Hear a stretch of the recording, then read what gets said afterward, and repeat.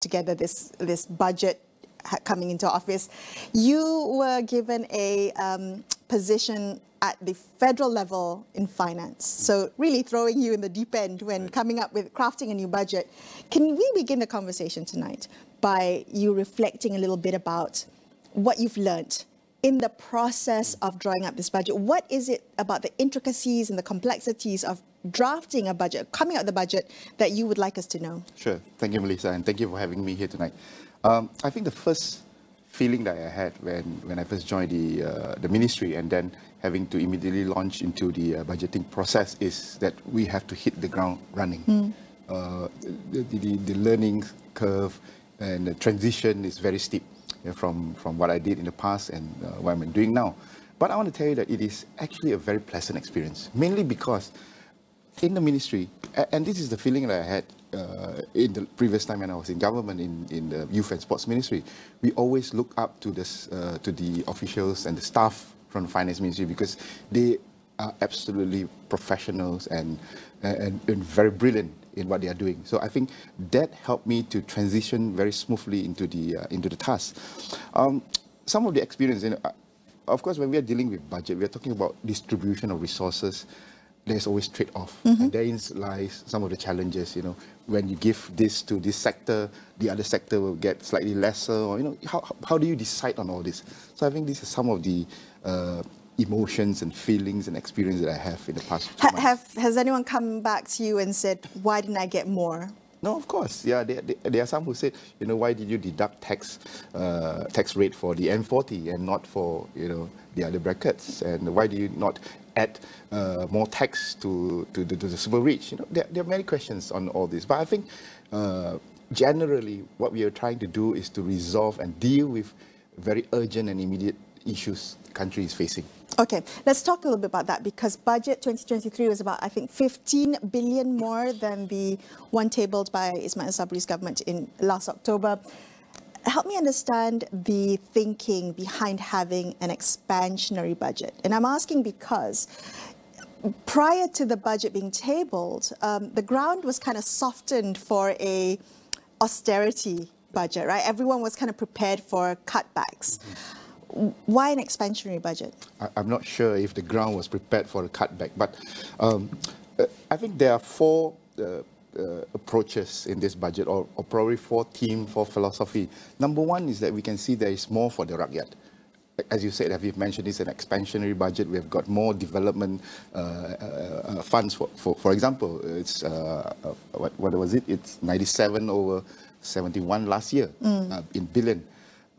But at the same time, we see that despite being expansionary, it is more focused and it is more disciplined. Focus in the sense that you, you don't see the Prime Minister mentioning mega projects this time, you know, bar for one or two, which is already ongoing.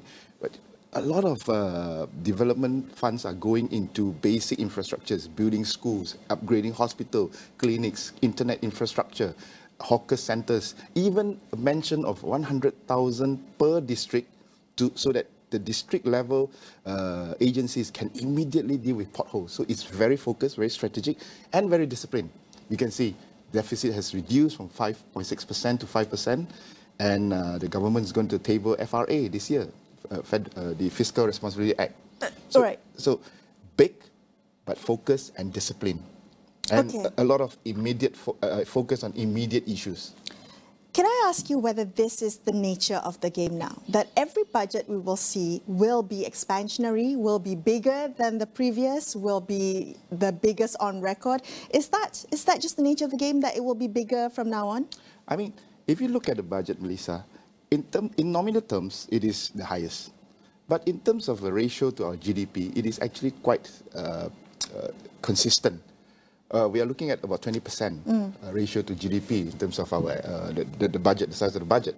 And if you compare that to, let's say, uh, the uh, uh, crisis year, we have reached up to 21% during the Asian financial crisis. We have reached up to even almost 30% during the global financial crisis. So, in terms of ratio to GDP, we are still quite consistent with some of the what do you call it, previous years. But I think the, the real question is here is this: it's not about the size of the budget. The, the question is, number one, uh, what are we using the money for? And number two, are we able to fund it? So these are more critical questions than merely looking at the size of the budget. Okay, so I'm going to quote some commentators who have responded to the budget, calling it, quote, pragmatic but cautious. It's a pragmatic but cautious budget. Others is, quote, part recovery, part election oriented, but mainly status quo. Mm. can I ask you whether that's fair? And on that note of, you know, what are you using the money for? What, what do you think people expect from a budget? Mm-hmm. Uh, look, like I said, uh, people expect the budget or, in a way, the government to solve their problem. And what is our current problem? We have to rebuild back, for example, our middle class. We have to rebuild back our SMEs post-crisis, uh, post-crisis years. We have to uh, continue to help uh, the, the, the, the, vulnerable uh, sector of the society to, to deal with the, uh, the, the rise of cost of living. At the same time, to have a longer term solutions on, for example, food security, how do we bring down the price of food, etc. So I think this is what the people want at this moment, and this is what the budget is offering.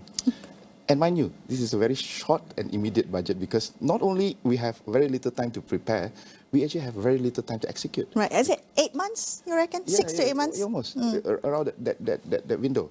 In fact, imme almost immediately after the passing of the budget in this current sitting in March, we are going to kickstart the next budgetary cycle. There's okay. going to be a discussion on this. So no, no break budget. for you when it comes to budget crafting. So I may have to come to Astro again. Um, might have to talk to you about the design of Budget 2024. Um, I, on that note of what people expect from budgets, do you think it's been normalized to expect goodies in budget? And the reason I ask is because the, often after a budget is tabled, there's always the headlines of, you know, what do you get in budget 2020? Click here to find out what you get from this budget. Do you think it's become a norm that we have so normalized the expectation of goodies in a budget that when low-hanging fruit like populist measures like that are not present, the budget is then panned as, you know, timid or missing the mark? I think it is inevitable that uh, the different sector will be looking for what's in for them, what's in for me uh, in the government's budget, because basically all of us are taxpayers, all of us expect something from the government, from the country. Uh, that in itself is not uh, really a bad thing. But I think we also have to learn that in a, in a situation of scarce resources, no matter how rich a country is, mm. there must be uh, uh, uh, some sort of formula for distribution. So nobody gets everything they want. But what we want to achieve here is an equitable distribution. So you know, you look at uh, uh, some of the uh, new measures that have been introduced. For example, the, the tax rate cut for, for, for, for the so-called middle class. Right. Right. Right. So some, some, some people are asking why are you not uh, why, why are you giving them a tax break? Hmm. So I think it is very important at this moment, especially post-pandemic. The middle class experienced one of the highest drop decline in income in the last two years.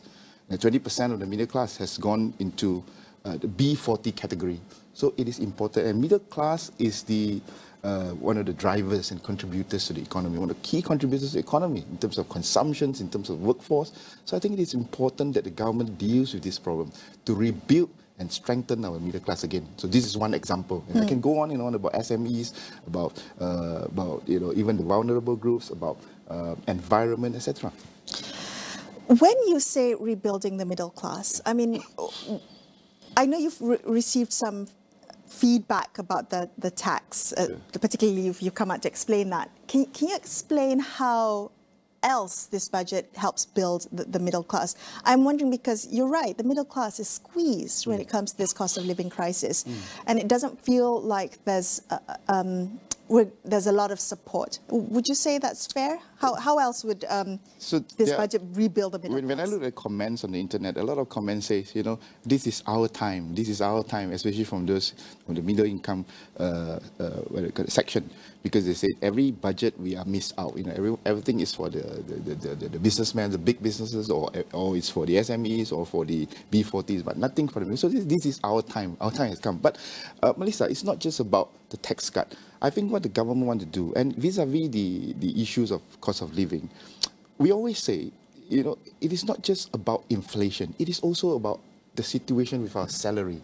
Mm. We, we, are in a middle income trap. right? We are a nation in the middle income. So, so what the government is trying to do in this budget, you know, other than putting more money, what I call disposable income via tax cut, we are also, uh, you know, incentivizing employers to hire uh, our graduates, to hire women, to encourage women after post-maternity to return back to the marketplace. We are also uh, helping uh, the, the rakyat to increase their, their, their, their, their salary, their, their incomes, or, or, or to help them with businesses, uh, small businesses, micro businesses, hawkers. Um, I think one of the very interesting, uh, what do you call it, uh, uh, uh, in the budget is uh, the one proposed by uh, economy minister, uh, Saudara Rafizi. You know, how do we, you know, it's not just about handouts. It is also about empowerment. It is about giving them a sustainable uh, avenue to, to, to make a living on their own. So I think this is the some of the highlight when it, when it comes to middle class, when it comes to B40. It's not just about handouts. It's not just about one-off, but it is about improving their life. We are giving uh, subsidies, we are giving incentives and grants to businesses to digitalize so that you reduce dependency on migrant workers and then you hire or create more high-paying uh, technological, technical jobs for locals. This is a long-term plan, right? Budgets are often, you know, short cycles, one year. This is sure, even less than sure, a year. Sure. So, so you have, I mean, like I say, this budget was done in in two months. Mm. So I, I don't think we pretend that this budget solves every problem.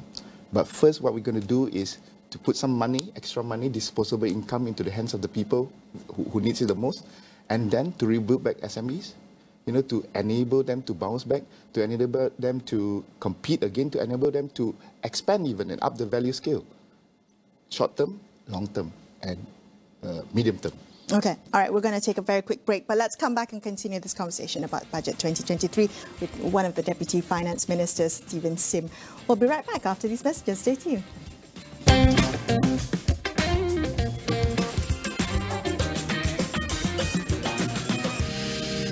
Cuaca panas menyebabkan kelemomor minyak dan kegatalan?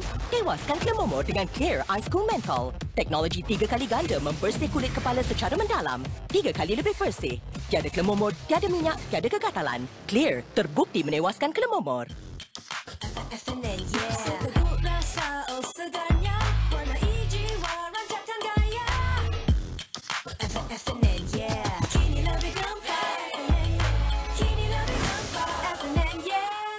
Jangan lupa Yakult ni. Jom minum Yakult setiap hari. Usus mantap kuat lagi immunity.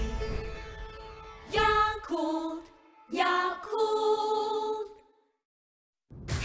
Cuaca panas menyebabkan kelemumur, minyak dan kegatalan. Clearman 100% untuk para lelaki. Teknologi anti kelemumur tiga kali ganda. Tiada kelemumur, minyak atau kegatalan. Dingin pada kulit kepala. Clearman terbukti menewaskan kelemumur engkau adalah yang terunggul. Apabila kau hidup untuk detik gemilang ni, kau sedia untuk menggalah segala bebanan dan bertekad untuk menjadi harapan untuk semua.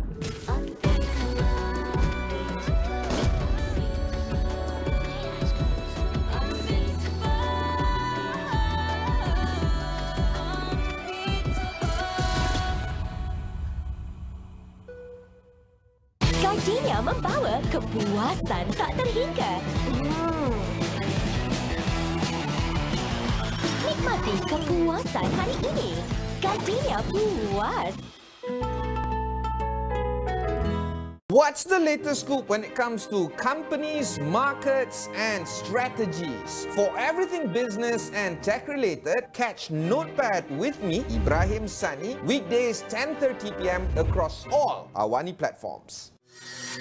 Takdir menemukan mereka kembali. Alamak. Ya? Sebuah karya Siti Rosmiza. Saya takut. Takut apa? Takut rindu. Dah terima dah bunga daripada saya kan? Terima kasih. Namun ego membutakan hati. Kayak aku tak tahu kan kau diskanding dengan Zal. I was friend, pa! Kamu mesti nikah dengan Alia. Kau tolong matikan impian kau untuk menumpang kekayaan aku. Biar dia tahu yang kau ni bukan anak patung tau. Dari manusia pun boleh tentu. Apakah tiada bahagia di dalam takdir mereka? Andai itu takdirnya. mulai 6 Mac di Astro Ria dan Astro Go.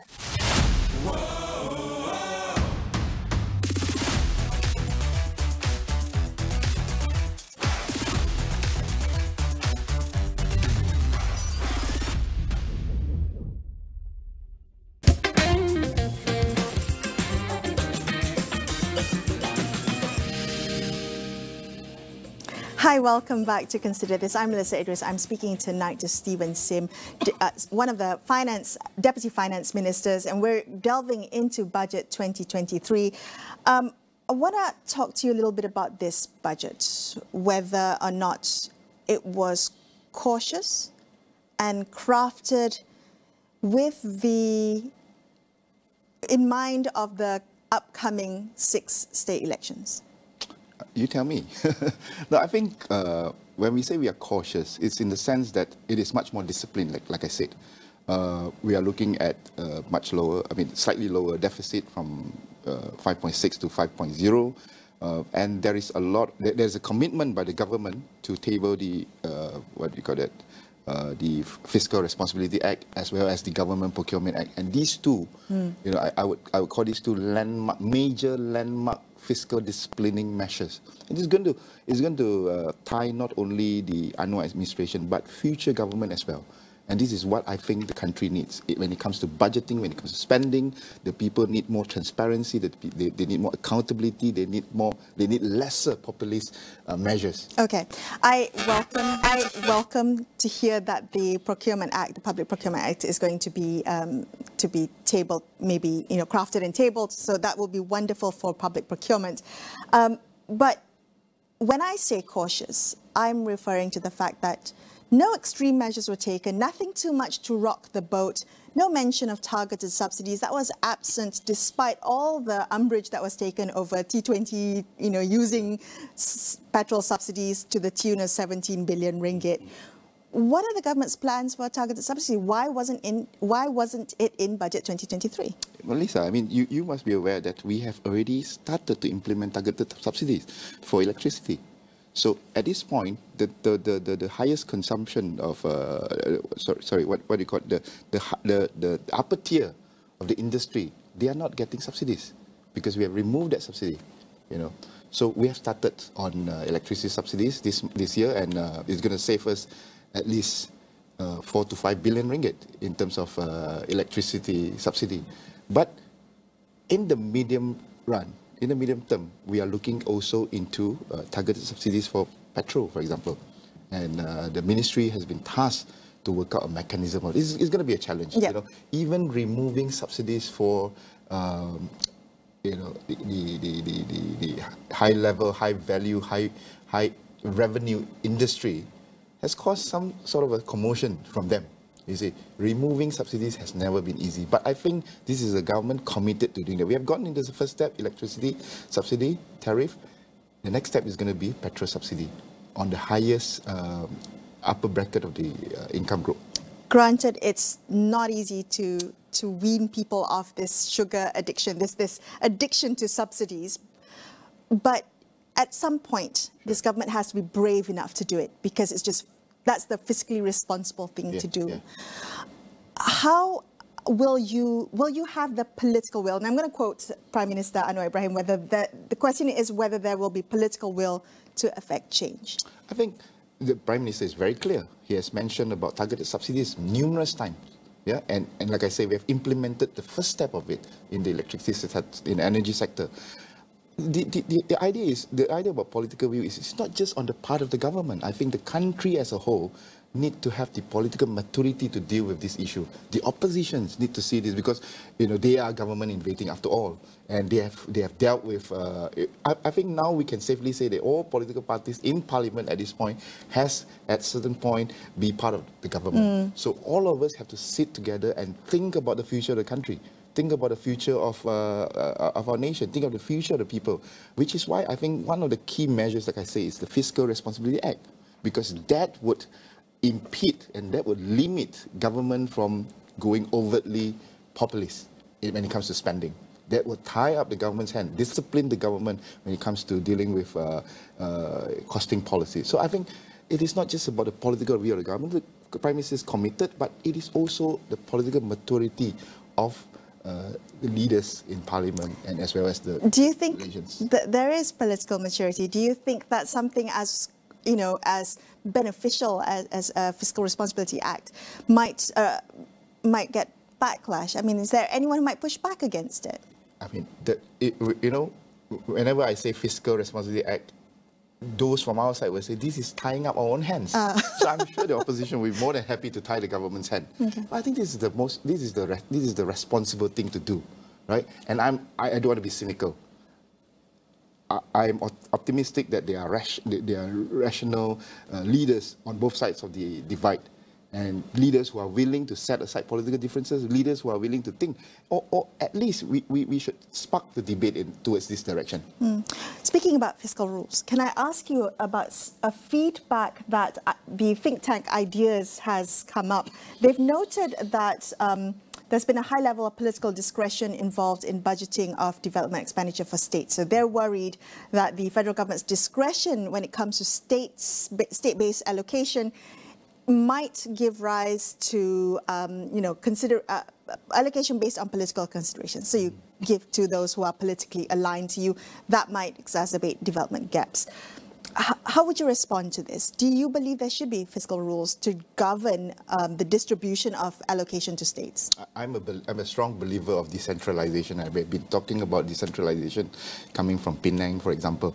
And I think the government is committed to that. I mean, look at how uh, the, the central government, the federal government has, uh, uh, uh, has given, for example, more uh, fiscal government, governance power to Sabah and Sarawak Mm. in terms of approving the, the, the limit that you can approve for development funds, uh, for running their own uh, gas supplies, etc. So I think the, the direction of the government is to, to empower the state as well.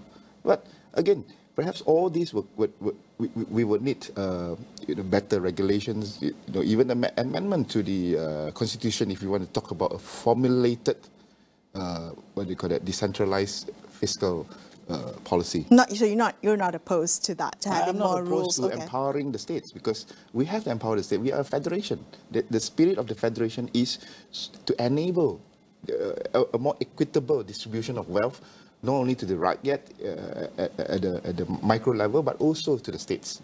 I'm intrigued when you said um, political maturity in- and working together. The fact that most of the political parties have, in some shape or form, been in government and been in opposition. What has it been like working in a unity government? Has has it been challenging working so closely with those who um, who once had values who that weren't aligned with yours? Has the process been truly collaborative, or is it a case of you do your thing, I'll do mine? You know, the uh, one of the interesting story was, you know, when uh, Dato Sri Anwar Ibrahim announced myself and Dato Sri Ahmad Maslan as Deputy uh, Finance Minister, uh, somebody dug out my tweet from 2014 Oh, saying dear. that, you know, it is, uh, you know, I made it my life mission to bring down a government with Ahmad Maslan. And I, I own that tweet. I, I own it totally because I said you don't have to look far. You don't have to look to 2014. You know, just weeks before, before the announcement, I was campaigning against his party, against his leaders. Mm. I think we have come to a time where, and I think this is a good thing. We have come to a time where the country needs uh, to, to, to come together. And I'm, I'm glad personally that our leaders are willing to set aside, you know, deeply entrenched differences to come together on, uh, on principle, on a set of principles. We, we are not coming together uh, uh, just so because we can be government. There, there are a set of principles that we sign as a coalition, come together uh, in order to rebuild this country after two or three years of instability, of multiple crises my working relationship with, for example, my colleague, uh, Dr. Sri Ahmad Maslan, has been very professional. You know, I was just telling some of your colleagues that, uh, you know, we are not on a bro basis, but we coordinate very well. Uh, we share information and we exchange ideas. And when it comes to this budget, I think we sat down together, exchanged what, you know, our thoughts. I, I gave him my suggestion, he gave me his suggestion, and then we worked together with the, uh, with, with the agencies and with the, uh, with the budgeting team to, to, to, to contribute to the building of the whole budget. So I, I would say that, uh, you know, in times of crisis, Malaysians would like to know that leaders, their leaders, are mature enough to work together.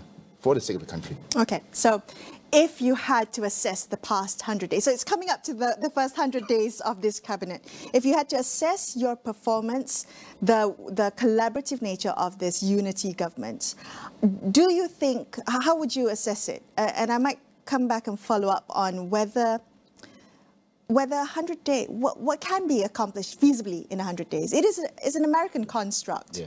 So, so how would you assess, what have you done in the past 100 days that you think you're proud of? Well, we have tabled the uh, 2023 budget in uh, record time.